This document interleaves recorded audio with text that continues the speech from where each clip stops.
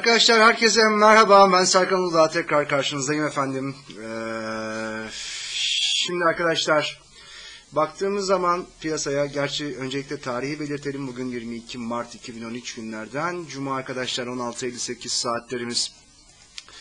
Canlı yayın arkadaşlar ee, yine Güney Kıbrıs'tan gelen haberlerle başladık. Ee, canlı yayına başlamadan hemen önce Güney Kıbrıs'tan gelen açıklama birkaç saat içerisinde bir kurtarma paketinin e, onaylanması ihtimalinin yüksek olduğu açıklamasıyla beraber hızlı yükselişler görmüştük. Ama arkadaşlar bu plan artık e, kaçıncı plan e, bilmiyorum ama birçok plan gitti Güney Kıbrıs'tan Avrupa Birliği'ne fakat genelde onay çıkmadı arkadaşlar. Elbet bunun onayı çıkacak ama eğer en önümüzdeki saatler içerisinde bir onay gelmez ise aynı Atatürk'ün sözü gibi e, geldikleri gibi giderler dercesine parite bir anda kendini 1.30'lardan aşağı doğru harekete başlatabilir. Onu söyleyeyim temkinli olunması gereken noktalar şu anda 5 dakikalık grafiklere çok çok alışık olmadığımız şekilde onu belirteyim arkadaşlar. E, fakat belirli bir planın onaylanma aşamasına gelindiği daha doğrusu bir plan onaylanırsa yine Avrupa'dan da böyle bir açıklama gelirse Arkadaşlar o durumda 30'larımız 1.30'ların da üzerine çıkıp 1.30-28 civarlarına doğru tepkilerle karşılaşma potansiyelimiz olacaktır. O yüzden e, dikkat edilmesini öneriyoruz. Ki zaten bugünkü analizlerimizde de hatırlıyorsanız e, gece saatlerinde 1.28.80'in üzerinde kalındığı sürece yukarı hareket beklentimiz vardı. Nereye kadar? 29.10-29.20 civarına kadar. Buranın üzerine kaldıktan sonra arkadaşlar dedik ki biraz bekleyin şöyle bir e, 38-40 aralığında kırılsın. Sonrasında 63'ler ve e, 84 seviyeleri karşımıza gelecek dedik arkadaşlar. Görmüş olduğunuz gibi tüm hedeflere tek tek ulaştık yine bugün. E, sonrasında 1.30 düz seviyelerden aşağı doğru tepkiler şu anda var. Bakalım devamı gelecek mi? Ama teknik olarak şu anda çok fazla bir şey söylemenin bir anlamı yok. E, efendime söyleyeyim Stokastik göstergesi yorgunmuş yok. MACD şu haldeymiş bu haldeymiş hiçbir önemi yok arkadaşlar. Direkt piyasa şu anda temel verilere göre Avrupa'dan gelecek olan daha doğrusu Güney Kıbrıs'ın söylediği söylemin bahsettiği söylemin gerçek olup olmayacağına bakacak.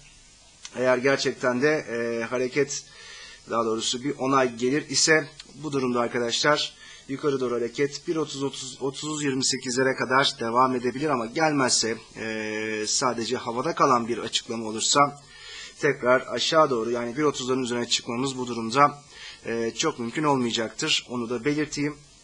Haberin gelmesi durumda 30-28 kırılır mı derseniz e, tabii ki mümkündür. Yani imkansız diyemem ama zaten bu haber önceden bir sinyal geldiği için fiyatlanmış durumda şu anda. O yüzden e, hani çok çok ciddi tepkiler yani buradaki 30-80'lere kadar bir hareket geleceğini çok fazla tahmin etmiyorum ben. E, onu da söylemiş olayım. E, şu gap dolar mı derseniz belki hani 30-50'ler belki 30-30'ların üzerinde yine test edilebilir ama çok çok da mümkün e, olduğunu zannetmiyorum. Ben buraya kadar yukarı tepkilerin onu da söylemiş olayım arkadaşlar. Evet şimdilik e, demiş olduğum gibi e, sadece buradaki seviyeleri kontrol edeceğiz. Çok fazla göstergelerin ne dediğine e, çok fazla bakmamak gerekiyor diye düşünüyorum. Ama e, önümüzdeki hafta için şunu söyleyebilirim. Bakın 4 saatlik grafiklerde şuradaki harekette ortalamanın üzerindeyiz. 29-56 civarları. Buranın üzerinde e, bir açılış olur ise arkadaşlar yani paritenin açılışı 29.56'nın üzerinde kalırsa e, bu durumda yukarı hareket konusunda biraz daha ısrarlı olacaktır diye tahmin ediyorum parite. Günlük kapanışlar da tabii ki önemli haftalık kapanışlarla beraber ama yine geçtiğimiz haftaya benzer bir gepli e, açılış yaşayabiliriz önümüzdeki haftada. Lütfen bunu da göz ardı etmeyin. E, bu gepli açılışta bizi e, tedirgin ediyor. O yüzden bu, bu akşam saatlerinde lütfen pozisyonlarımızın kapalı ya da en azından riski en aza indirebilecek şek hale getirecek şekilde ayarlamamızda fayda var. Bunu da sizlerle paylaşmış olayım. Ee, bunu söyleyebilirim arkadaşlar. Tamamdır. Şimdilik bundan bahsedebiliriz Euro dolar paritesi için.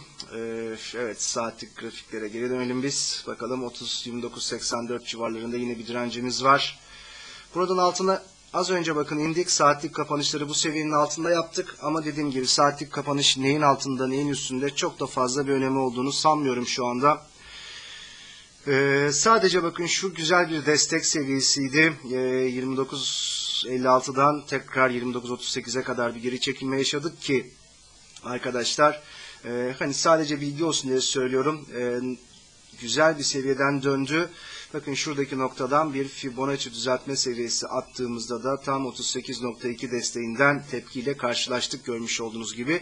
Gerçi şu hareket e, buradan aldığı tepkiden kaynaklı değil arkadaşlar. Haberle ilgili olan bir şey ama şu seviyenin kuvvetli bir destek olduğu da ortadaydı. E, şu hareket yaptıktan sonra bu tarz yerlerde Fibo seviyesi çekip e, dönüşün nereden olacağı konusunda e, bilgi sahibi olabilirsiniz. Çünkü bakın ilk düşüş buraya kadar gerçekleşti. Sonrasında yukarı doğru bir tepki ve arkasından düşüşle karşılaştık arkadaşlar. Evet, e, bu sadece dediğim gibi bilgi olsun diye şu anda faydalanacağınız bir şey değil. E, artık çünkü Fibo seviyelerini şu şu hale getirmekte fayda var.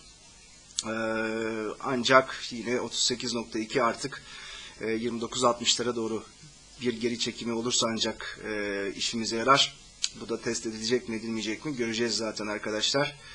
Bu hareketin devamı gelecek mi tamamıyla Avrupa'ya bağlı. E, Güney Kıbrıs'ın söylemlerinin doğru olup olmamasına bağlı. Haftayı arkadaşlar biliyorsunuz Güney Kıbrıs'ı açmıştık e, haftanın kapanışında. Hala aynı şeyi konuşuyoruz. Güney Kıbrıs, Güney Kıbrıs ne olacak, ne olacak, e, kurtarma paketi onaylanacak mı? Ne şekilde bir çözüm bulunacak ya da çözüm gerçekten bulunacak mı ki bence bulunacaktır. E, Yunanistan'a bile bulunduysa e, Güney Kıbrıs'ta mutlaka bir çözüm e, üretilecektir kendisine. Sterlin dolara bakalım. Sterlin'de arkadaşlar orta vadeli aşağı hareket, daha doğrusu aşağı trend devam etse de şu anda bakın 52'lerin üzerindeyiz. Yukarı hareket konusunda 52'lerin üzerinde. 52.30 ve 52.77 civarlarında e, tepkilerle karşılaşma potansiyeli vardı. Bakalım gerçekten de 52.30'un üzerinde şu şekilde 52-77'ye kadar ulaşacak mıyız? Yön biraz daha kısa vadede yukarı olmaya devam ediyor arkadaşlar. Sterlin dolar paritesine baktığımızda. Ama e, orta vade için konuşuyorum. Bakın şuraya üçgenlerimizi çiziyoruz hemen. E, şu bölge arkadaşlar önemli bir direnç. Özellikle haftalık kapanış açısından sterlin dolara baktığımızda 52-77, 52-52 civarlarından arkadaşlar desteklerimiz var. Eğer bu destekler kırılmaz ise e, tekrar haftaya geri çekilmelerle karşılaşabiliriz. Bu biraz daha orta vadeli düşünenler için e, belirtelim buradaki seviyeyi. Zaten gün içi içinde son hedef noktamızda 52.77 seviyesi olacaktır. Bunu da tekrar edelim sterlin dolar için. 52'nin üzerinde lütfen yukarı hareket konusunda e, potansiyel olduğunu aklımızdan çıkartmayalım. Tamamdır. Sterlin doları da bu şekilde özetledik. Ve gelelim arkadaşlar altına. Altın için söyleyebileceğimiz şey şu. Bugün için bakın 1607 civarlarında bir kırılma seviyemiz vardı. Şöyle bakın büyütelim. Evet 1607-15 civarlarında buranın altına indikten sonra 1604-25 desteğine kadar ilk hareket geldi. Kısa vadeli ilk hedefimiz burasıydı. Fakat buranın altında kalamayarak yeniden 1600'ün üzerine çıkarak 1611-85 günlük pivot noktasına değdik. Yani şablonları yükleyen arkadaşlar zaten bu seviyelerden faydalanmıştır diye tahmin ediyorum. Ee, yön hala 1607-15'in üzerinde olduğumuz için yukarı olma konusunda biraz daha istekli gibi duruyor sanki. Onu da belirtmiş olayım arkadaşlar. Tamamdır. Ee, eğer yukarı hareket devam ederse 1611'lerin de üzerine doğru bir hareket olursa 1616 o 55 seviyesi arkasından 1619.45 ve 24.15'ler karşımıza gelecektir altında da. Trend hala yukarı olmaya devam. E, günlük strateji neydi biliyorsunuz. 1599.55'in üzerinde yukarı hareket beklentimiz devam ediyor. Ana trend kısa vade için yukarı. Ve bu hareketlerden dolar TL bakın görmüş olduğunuz gibi çok çok ciddi tepkiler vermedi arkadaşlar. Görüyorsunuz son saatlik barlarda bile Aşağı doğru bir hareket var. 81.50'ye doğru gelen sonra 81.72'ye doğru çıktık. Bizim kırılma seviyemiz ise bugün için bakın buradaki mavi bölgeydi. Bu mavi bölgeyi birazcık yukarı taşıyoruz şu anda. Yani nereye geldik? 81.30, 81.10 civarlarına getirdik bu mavi bölgeyi. Burası kırılmadığı takdirde yukarı hareketle karşılaşma potansiyelimiz hala daha kuvvetli. 82.10, 82.23, 82.70 civarları kuvvetli direnç bölgeleri arkadaşlar. Ama 81 onların da altına inersek lütfen yukarı hareket konusunda çok ısrarcı davranmayın tamamdır. Bunu da söyleyebiliriz dolar TL için. Peki arkadaşlar şimdilik canlı yayının özet kısımları bu kadar. Devamını burada bizimle beraber arkadaşlarla devam edeceğiz.